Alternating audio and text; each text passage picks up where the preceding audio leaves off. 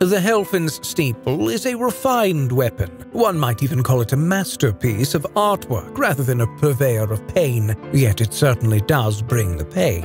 And it pairs well with the Dark Moon Greatsword, which shares stats and provides further frost build-up, or the Frozen Needle for sudden fast pokes or range. It has the usual chunky swings of a great sword, missed opportunity for flourish there FromSoft, and the sword would be unremarkable were it not for its unique skill Ruinous Ghost Flame, which adds an additional 110 magic damage and 80 frost to the blade for a full minute.